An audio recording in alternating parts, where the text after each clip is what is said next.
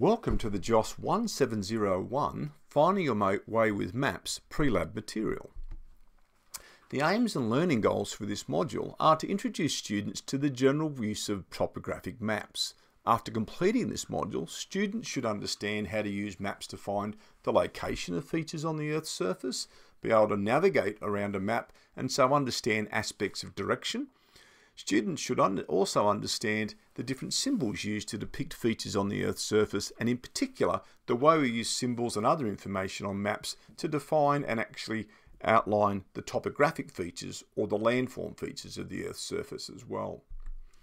This is part one of the module and in this part we'll only cover the basic elements of location and using maps for defining the location of places. So how do we do that? How, how do we define the location of a feature here in New South Wales versus the location, say, in the Northern Territory or West Australia? We can, and how do we use that for navigation so we can tell someone how to get from one part of the world to another? Well, most people have heard of the latitude and longitude and using them to locate places on the Earth's surface. So most people have heard of the parallels of latitude and the meridians of longitude. The parallels of latitude, as the name suggests, are a series of concentric circles that are parallel to each other. So the largest circle is at the equator, and the circles get smaller as you move north towards the North Pole or south towards the South Pole. So, as I said, these are the parallels of latitude. The meridians of longitude are also circles, but they are all the same length and they converge at the North Pole, at Santa's house, or at the South Pole, and so these are a way of defining uh, locations east or west, whereas these are a way of defining locations on the Earth's surface north or south. These give a distance, these run east-west, but we use them to navigate north-south. These lines run north-south, which means we therefore use them to navigate east or west. Just be aware of the way the lines run, but what we're using them to navigate for. Now, here's an example of how we would do that. Now, when we put latitude and longitude together, this is referred to as the geographic graticule or just the graticule. Now, what does that mean? Well, it means we've got this network of curved lines now. And so we have the, as we said, the lines of latitude, which are the concentric circles, which give us our degrees of arc moving away from the equator towards the North Pole or towards the South Pole.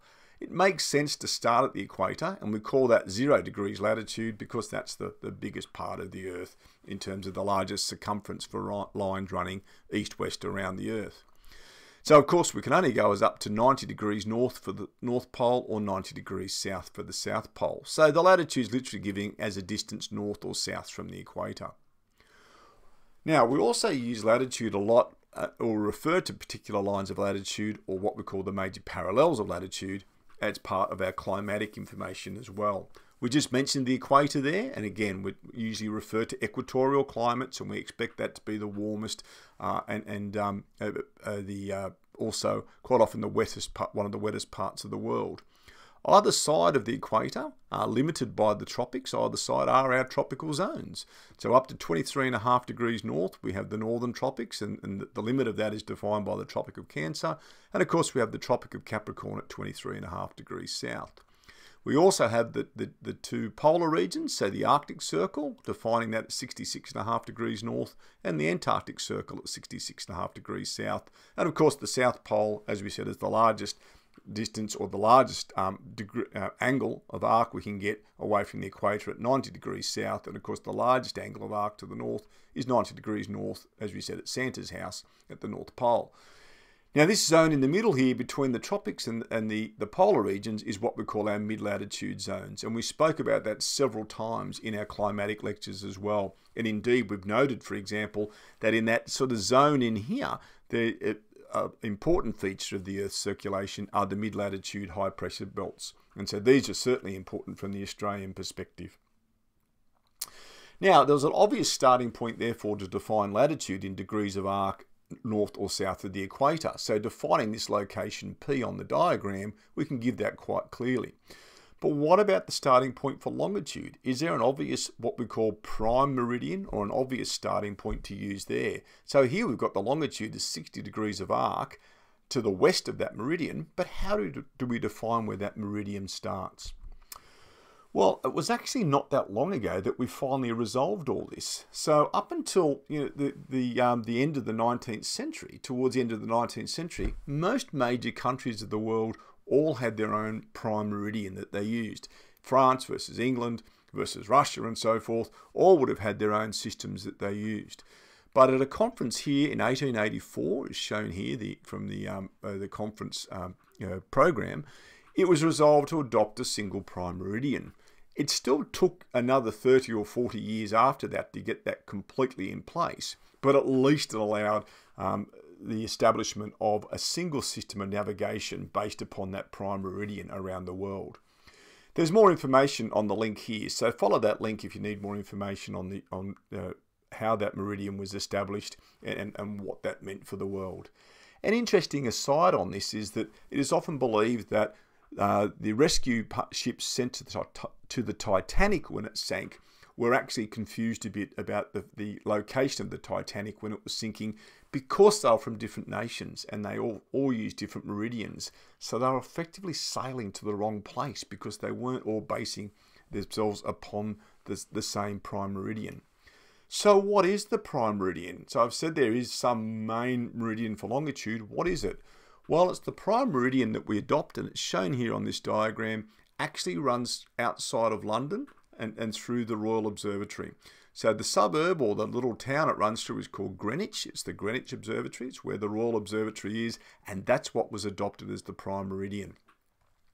Now, that means that also established time zones of the world because it made sense if that's going to be our navigational system, indeed, that's also our time system as well. And it actually meant also that, that that established the international date line on the opposite, opposite side of the globe to that prime meridian. And indeed, that's one of the reasons Greenwich made sense because on the other side of the world, it's mostly in the middle of the, middle of the Pacific Ocean. Sure, there's a bit of Siberia, but the international date line cuts around that, and it also cuts around New Zealand and so forth. And indeed, the closest place to the world, uh, to the international date line that sees the start of each new day are the Chatham Islands, just off New Zealand. So we use our time zones as a function of this longitude as well from this prime meridian. And as it's shown here, for example, if it's 10 p.m. in Australia, it's 12 noon uh, at Greenwich Observatory. So basically it means we need to subtract 10 hours off the Australian time to get the time in Greenwich.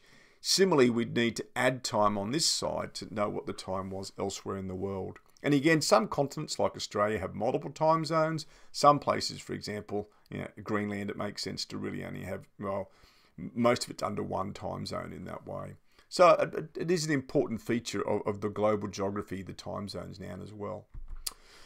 Now, if we're going to use latitude and longitude, it's, it's mostly for typically these broader scale features. Your GPS that you use may well actually refer to latitudes and longitudes, but it gets a little bit clunky and a little bit uh, not so useful if you want to define a specific feature such as your house or you know uh, a, a, very precise location.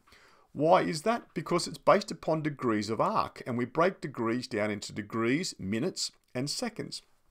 So remember there's 60 seconds to a minute, 60 minutes uh, to a degree and 360 degrees in, in a sphere. So here's UNSW, and it's 33 degrees 55 minutes south and 151 degrees 14 minutes east. And so that's saying it's obviously south of the equator and it's east of that prime meridian. We also might show this as a negative value because we normally show the northern hemisphere as negative as positive values and the southern hemisphere as negative values. Eastern longitudes are shown as positive, western longitudes are shown as negative. Now, to actually really refine things down, we'd need to not just show the minutes here, but also the seconds of arc. And again, in most modern digital systems, you actually show decimal places rather than degrees, minutes, seconds. But what we find then is we have a problem that you often have to go to about five or six decimal places to really locate something quite accurately, and that gets a little bit clunky. So for most features at a more localized scale, we tend to use a grid uh, as our way of navigating around. And so here's an example that should be familiar with most of you, and that's this is just a section of the, the Kensington campus grid for UNSW. Now, most grids have typically at this scale, and this looks a lot like the old style street directories that everyone used before we went to using GPSs in our cars and on our phones. So it has a simple system of a series of letters and numbers to define the location of certain features um, on the actual uh, the UNSW campus. Let's see how it works by zooming in in a bit more detail. So here's just where the, the grid starts. Now, yes, we know that most grid systems, so most things under uh, normal sort of Cartesian geometry and coordinate geometry, the origin should be down here. But it makes much more sense for the university campus to start the origin up here in the top left-hand corner rather than down the bottom left. So what we find is we have a series of letters, you can see, which define a location here away from that grid, and the others a series of numbers.